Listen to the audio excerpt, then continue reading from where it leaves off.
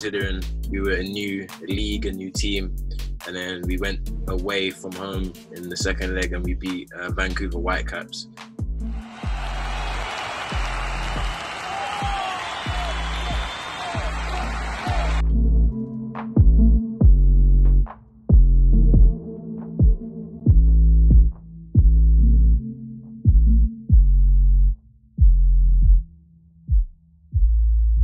Speak on the best game you've had.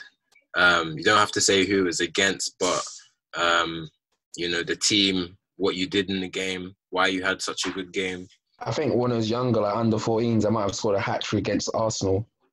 We might have won 7 3 at Hale End. And those games built up like to be like our classicos for that age. Like everyone who may have played up will come down. And it'll be such a, it'll be only like a, a Sunday morning at 11, but to us, it was like a final. And obviously, the bragging rights, and we all really knew each other. And I just kind of signed for Chelsea and thinking like what everyone was telling me about who this player was and that player was at the time it was really big for me and that's always stuck with me. Um, so in terms of like academy football, that would be one of my best ever games. Mm. I remember that game, man. Reese's. Reese's. Well, I thought that that age, I thought Chelsea players were all robots. That's what I thought. Yeah, it was a bit, it was a bit freakish. Yeah, like that's what we had that feeling at Arsenal that Chelsea was they were like feeding them something or they were doing something that was making them like robotic. Like we just felt like that. I did anyway. I remember that yeah. game. That game. Reese had the had the um, Mbappe trim, one all over. That's what new knew. Serious. that was no that was, yeah, man. What about Dan? I reckon Dan's got the best game that he's played in. Um, for me, probably one of the games I played last year. I scored the hat trick. It's not. It's not that like. It's not that often.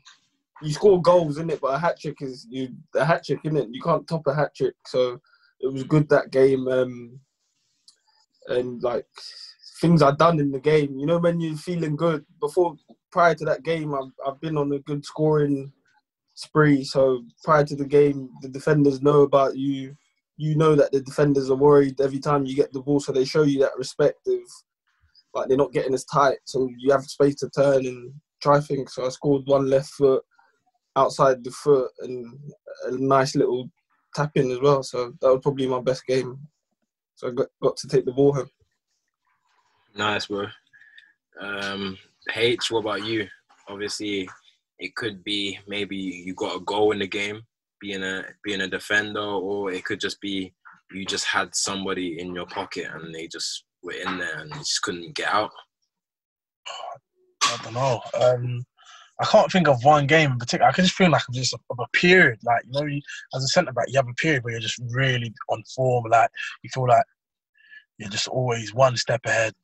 The, the centre forward. I think yeah, my time at St Albans, I've just like made the step up to like the Conference South or whatever and that that those first two months, like, not many people knew what to expect me because I no, I didn't. Nobody really knew me or whatever. So um, um, yeah, that period there, I just felt like everything I was doing was just right. You know, um, yeah, it was just it was just yeah that that was a, a period for me that I was just yeah I felt like I felt almost unstop, unstoppable. Like you can bring any centre forward to me right now, and I'm sure to be able to handle him. Yeah. What about um? What about you, Faye? I would say um, I think I'll go a bit different. I've I'll go. I would have to say my debut, like my first league professional appearance. Um, it was against Bristol City. Um, and I think I would say that because obviously, you know, obviously as a young player coming up, you always want to make that your first appearance and you build it up to that moment. And obviously you have a lot of nerves and whatever. And I think when I played that game, I just remember like almost talking myself through the game. And like I just, I, I think I came on and I played like number ten, and I'd not really played there before. But I don't think I gave the ball away. I played like half an hour. I don't remember giving the ball away, and I felt like I just like played really well, like even better than I expected, and it just kind of like made me feel like yeah, like this is what I want. Like I want to, I want to play like at this level all the time. And make a career kind of thing. And it was just like a eye opener for me of like, okay, yeah, I've made it. I've made an appearance, and like I can do this kind of thing. So that's uh, Mm. I would say that was probably um, like a memorable game for me. I played well. What about you, Jordan? Um, it's it's a hard one because I have many different emotions in terms of how I felt about certain types of games. Um, Yeah. I think probably I would say two or three stick out in my mind, especially in recent times. Um, one being I was in Germany and um, I hadn't played for like about 10, 10 games in the, the new year. So you come off uh, January and it's like a new preseason type of thing. Um, so you're getting ready to go into the second half of the season after the winter break. And um, the other striker, he was playing like 10 games in a row and he only scored like one goal. And I was on the bench and I wasn't playing. So then it came down to the fact that the manager um, would have got sacked if he never won the game. And it was a big thing. Like all the board members came into our dressing room and told us this and everything like that. So everyone's wondering what is he to do? Because this guy, you know, he was like a first team player and, you know, he had a good reputation, but he just wasn't scoring at the time. So then, um, yeah, we do like a inspirational video before the game, everything like that. And then the team gets put up. I'm thinking, listen, if this guy don't put me in the team, then he's lost his job. Um, and then put me in the team. And that was basically the start of me uh, saving his job. I ended up scoring. Uh, we won 2 0. I assisted the other goal. Um, and, you know, not having played 10 games and to have a game like that, that really stuck out for me.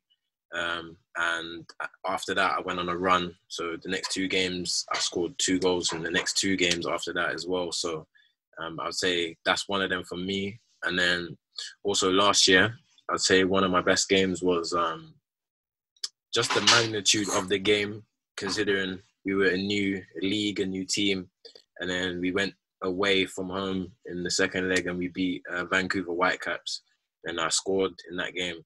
I think that's like the best game I've had in terms of like my hold up play, uh, decision making, my runs, like tenacity, all of that type of stuff. Um, so um, yeah, that game I would say that was like a big game for me. Here at Footy 258, we're proud to present you with the best football specific content. We work with many companies and many ballers to give you, the viewers, the best content possible. You, the viewer, we're always looking to help you improve your skill set. In order for you to improve your skill set and for us to keep making these videos, please click the link down below and buy some equipment. The equipment helps us run this channel and also you subscribing to the channel helps us producing more of these videos to help you with your skill set and your knowledge of the game. Thank you for supporting Footy 258. as well. Um, so next question. Well, two two more things. Um, just quickly mention probably the best stadium or the most surprising stadium you guys played at um, with the atmosphere and things like that. Bramall Lane when got promoted from League One to the Championship. They were already up. We were already down, but they got a full building and lift the trophy that day. And it's 30,000. That's the biggest crowd I've ever played in front of. Madness, madness. I would say Molyneux played Wolves. Um, yeah, they they um they filled up the stadium to, to play us, which was surprising. But yeah, that atmosphere was like was like electric. Mine, I, I haven't really had the, the luxury of playing in like football league stadiums, so um, the sort of best atmosphere I'd say Dulwich Hamlet. Um, Yeah, and Nate Nate said that. Nate said that to me as well. Yeah.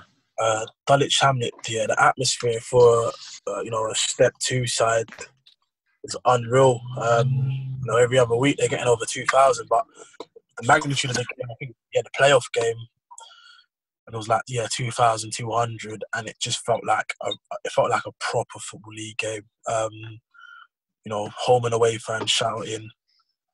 Um, yeah, just yeah, the atmosphere felt felt proper, man. Yeah, it's probably the closest thing I've had to to playing in a, a, a football league game or football league and atmosphere, really. Yeah. Well, you Um, done.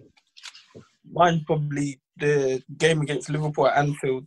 That was like, wow. You got to the stadium just even before, even before the crowd are there. Just walking in the stadium, the lights are shining even brighter, crazy. And then afterwards, coming on and playing at that, you just you want to be at that level. And I can only imagine it for for them, man. They enjoy playing at that level all the time in front of that many fans. I can't remember how many people were there, but it was a lot. For more content like this, like, share, and subscribe.